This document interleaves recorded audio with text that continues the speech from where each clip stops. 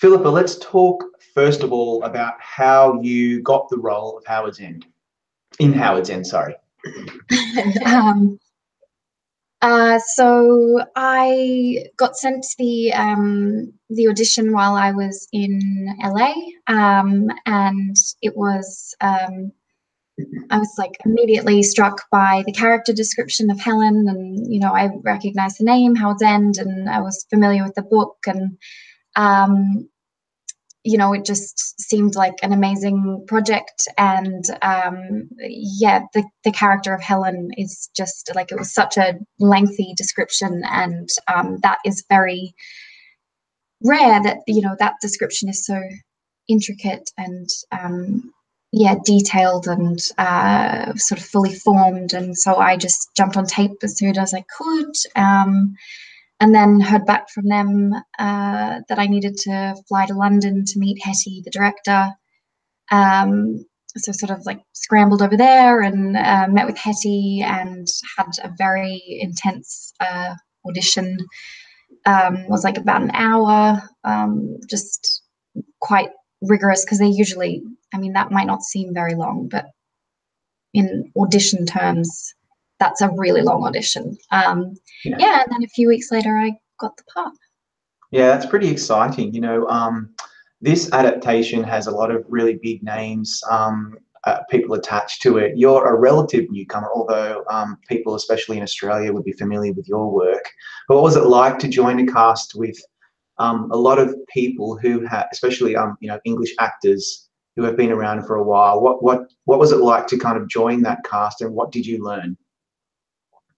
Uh, I mean, it was um, amazing uh, because, you know, especially to be the only person there who wasn't uh, British, um, you know, feeling a little bit like a convict that had sort of like snuck my way in. Um, but I mean, my, uh, you know, I had seen and was such a big fan of Matthew Macfadyen and Hayley Atwell. Um, I'd seen them both in Brideshead. Oh no, not Brideshead. Um, in Any Human Heart together, and um, yeah. So I think I was a little daunted, um, and but what was nice about it was that there were several other um, of the younger cast members who were pretty fresh out of drama school, and so in a way, were almost. Uh, more green than I was. So that was kind of nice. Um, and yeah, Hayley and Matthew just created a really lovely environment on set.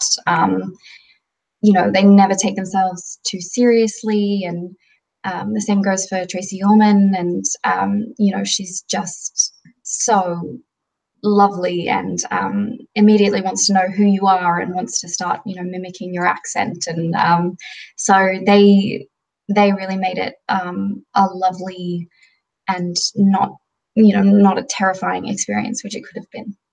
Yeah absolutely. And you know obviously when when you hear about howards end you immediately think about the the film. First of all it's a very famous novel by e.m. forster but um, the film was very successful back in the day. It won i think three oscars especially for um, emma thompson and helena bonham carter was in it playing your role. Um, did you did you decide to go back and watch the film, or did you want to keep it completely out of your head when you were trying to um, you know fig- figure out how you were going to play this person? Uh, yeah, I hadn't seen the film um, and decided not to see it until we'd finished filming. Um, yeah, and I, I, think that's a good idea, just because you know they are just the greats, and it's so it would be so easy to um, yeah to compare yourself or to sort of um, try and emulate what they did and um, so to attack it with fresh eyes and um, definitely i yeah it's a bit nerve wracking to take on a role that they've done so brilliantly and that people um, really cherish that adaptation. And it's an amazing adaptation that i've since seen and i love it. Um, uh, but what I think is also nice is that you know they are so different. Um, you know, we have four hours to tell the story and um, get to explore a lot of things. Um, uh, that with the luxury of just having more time to do that, and um, yeah, so I'm I'm glad that I sort of just had my own crack at Helen and um, uh, but yeah, I, I love I love the film. I'm a big fan.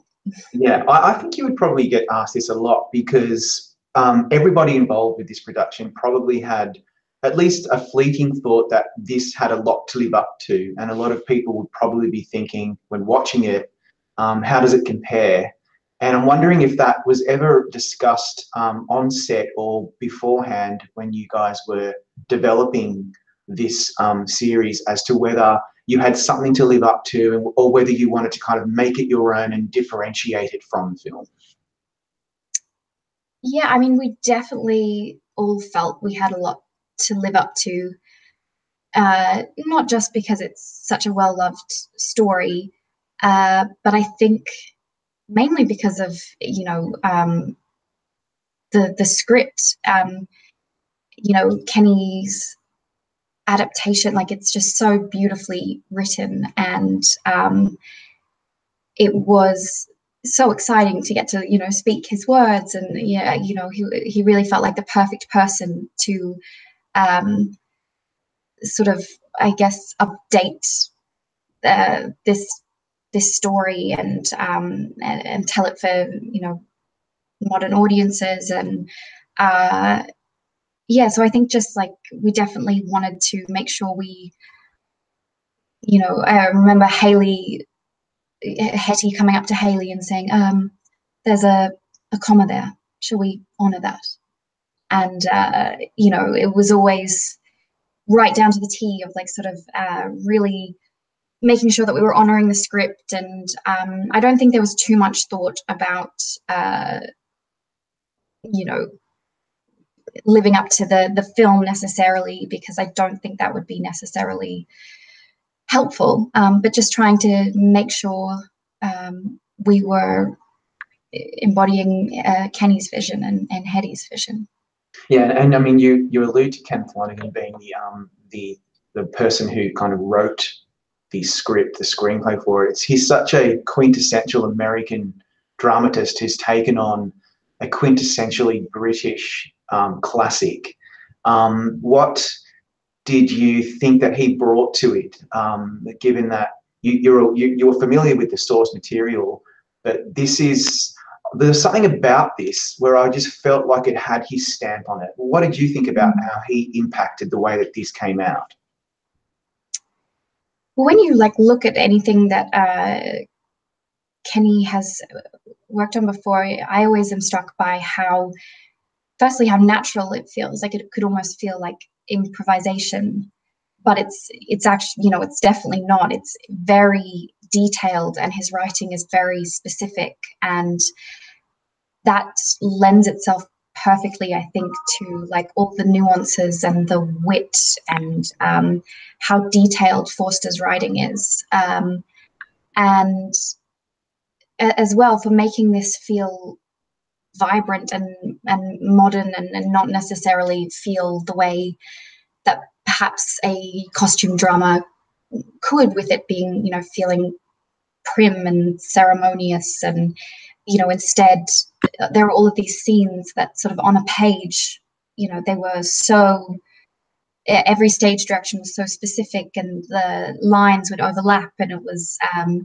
sort of looks like a musical score on the script and um, it's uh, messy and people are jumping on top of each other and it gives that feeling of a vibrant household where people you know it feels like family where people are stepping on top of each other's not lines, I guess, um, you know, stepping on top of each other. And um, yeah, so I think he, um, yeah, I, I, think he was the, the perfect person to sort of capture all of that and that he attacked it from uh, not a reverential sort of standpoint, um, that he was just really looking at um, capturing the humans within the story.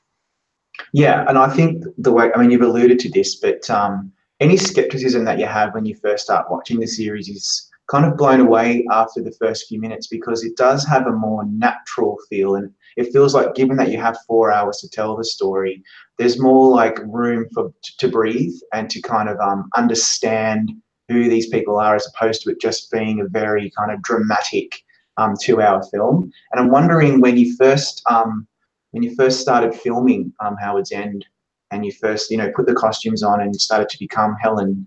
Um, what what was what was the feeling on set like? That uh, did you feel that it was um, something special and something different? Um, were, were you under a lot of pressure to try to make this your own? What, what was the sense like on set in the first few days?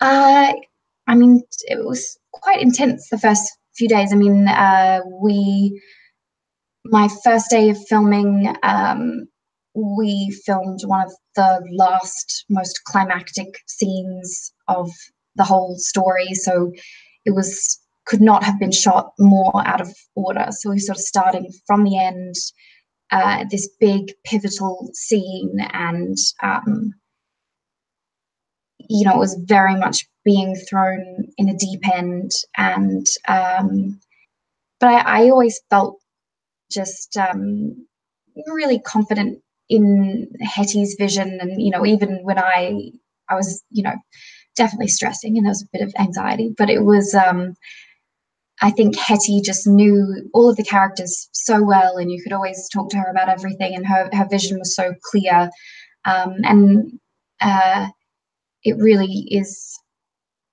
you know, in the in the script um, that felt like a great safety net to have. Um, so yeah, I mean, definitely an intense way to to start, um, and but I mean, that's you never get to have you never film any something where it's you know the schedule is exactly how you would want it. It's always out of order. It's it's always a bit of a, a mess. So yeah. Yeah you know what i love most about this um well the novel the movie and now this series is that it is really relevant um especially these days in the context of feminism and the debate over um uh, you know women in the workforce and women in um, general life especially in the states right now the me too movement um, did you have a sense that you guys were telling a story that was actually very relevant to the modern day? Yeah, I, I think I, I, um, I mean, I knew that Helen and Margaret are such remarkable women that you know stand up even uh, today, um, and that they uh, certainly like I I, feel like there were even other parts of the story that, um, you know, with the idea of uh, certainly feminism. Um, I'm so rambling. Sorry, my computer is like. Okay, I think it's fine now. It was just, it looked like it was about to. Anyway, should I start again?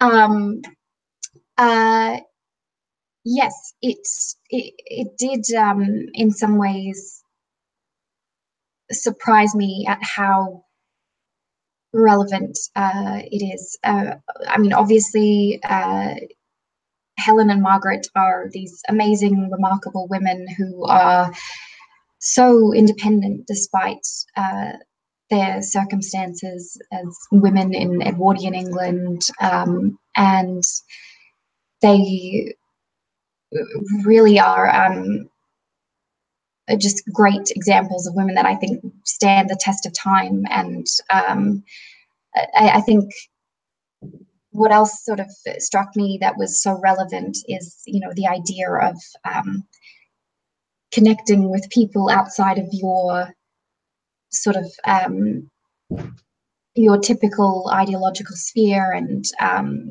outside of your, uh, especially with Helen, I think um, you know, she meets people that have such opposing ideals to her. For instance, like the Wilcoxes, who she writes a letter to Meg and says, you know, they um, they ripped apart everything that she sort of held dear and believed about the world, and she, instead of sort of running away from that, she loved it and found that fascinating. And um, yeah, instead of uh, sort of shying away from people who uh, have different beliefs to her own. She really um, wants to understand and, and connect with people that she wouldn't usually which i think is especially relevant today when you know it's so easy to be on social media in your own sort of echo chamber and um, you know hear largely people that agree with you. And um, so i do think that that was something that we realized was quite um, amazing about the schlegels and also very very relevant yeah, absolutely. I mean, the, the a lot of the point of this um, of this film and a series is about the the phrase "only connect." It's so famous, and when you hear it said, it um kind of gives you goosebumps. And and, and I love how um, both you and Hayley played the Schlegels really strongly. Um, that's it would have been a total. It just would not have worked if the uh, if the Schlegels were too vulnerable or not strong enough. And um, and I'm wondering, did you find that in the Only Connect theme, what was your connection like with Hayley by the end of, of filming Howards End? Uh, really, I mean, I, I you know, as I said, because we were like thrown in the deep end. This was like one of my first times. My no, it was my first time working in the UK, and she really took me under her wing. And you know, you're thrown into so many of these emotionally charged uh, scenes and um, by the end you know knowing each other really well and um, just feeling you know like uh, yeah like sisters and um, so that was like uh, really lovely and you know that's one of the best things about acting is you know getting sorry, my noisy computer keeps making noise.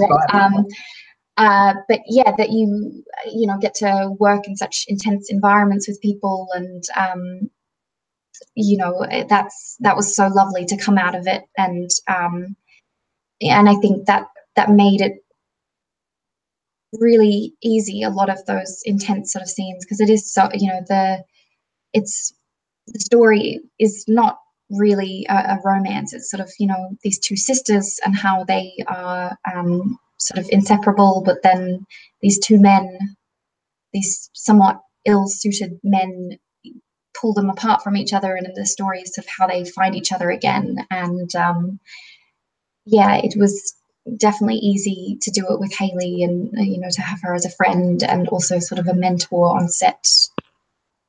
Yeah, and so and so finally, given that Howards End is such a famous novel, famous film, and now the series has come out and people really have loved it and responded to it well. It's on Starz, and um, we're in Emmy season now, and uh, and it's possible that Howards End could reap some nominations at the Emmys, just like the film did, you know, decades ago. What does it feel like when you're doing press about the series? And uh, there's some talk about awards and things like that? Like, is, is that just completely foreign to you at this stage of your career? Do you find it really exciting, a little um, um, nerve wracking? What's your sense when you're doing press about awards potential for a series like this? Um, it's definitely very foreign for me um, and lovely. Uh, so, um, so amazing that people have, you know, enjoyed it, and you know, um, that's just like amazing to hear because um, you know we all cared about it so much and um, really just um, you know uh, loved the script and wanted to do it justice and um, so yeah it's just lovely uh, and I guess very you know surprising um, and uh, yeah I don't really know what to think about it because it's um definitely a first for me, but um, very pleasant surprise.